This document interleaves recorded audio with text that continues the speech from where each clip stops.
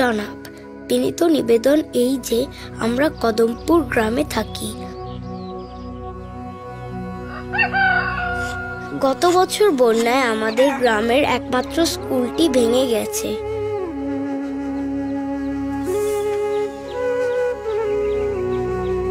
তারপর থেকে আমরা অনেক কষ্ট করে পাঁচ ছয় কিলোমিটার দূরের জেলা সদর স্কুলে যাই।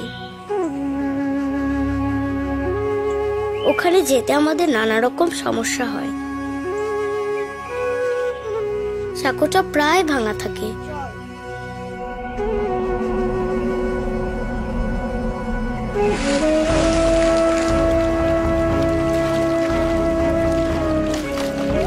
আবার নদী পার হওয়ার জন্য খেয়া নৌকা পাওয়া যায় না ঠিক মতো।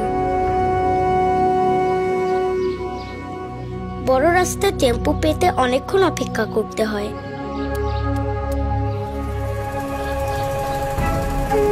প্রতিদিন স্কুলে পৌঁছতে তাই দুপুর হয়ে যায়।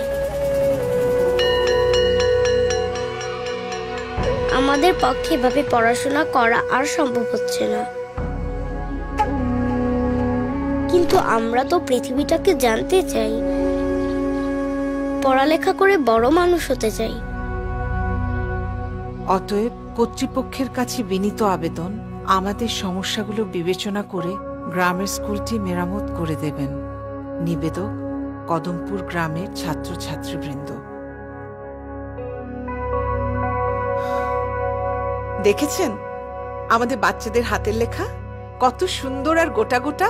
যত তাড়াতাড়ি পারেন, স্কুলটা মেরামত করে দেবেন। গুড লাক বলবেন ক্রিয়েটিং সাকসেস